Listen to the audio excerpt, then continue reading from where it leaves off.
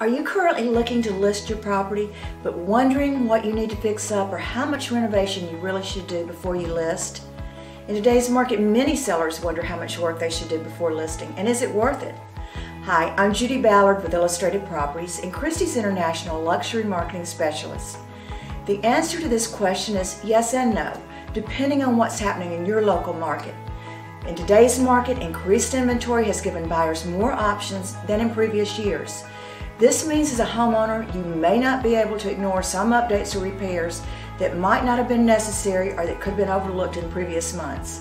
A recent article from Realtor.com stated, to stand out in today's market, sellers should make their home attractive to buyers, which usually means some selective updates. Renovating a few key areas in your home may be enough to make your house stand out from the competition, and you'll still need to consider the return on your investment.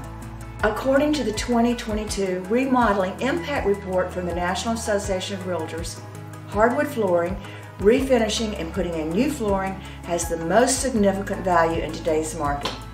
Also, what's just as important is to make sure the real estate agent you choose knows of any upgrades that you have recently done. This way, the home can be properly marketed to make buyers aware of your features and improvements. Finally, the best recommendation is to spend your time and money wisely by consulting with a professional realtor to see where the best focus should be. Feel free to reach out to me anytime and I can go over the best strategy of renovations to optimize the sale of your home with the best return on your investment. I'm Judy Ballard and remember as always, make it a great home buying or selling day.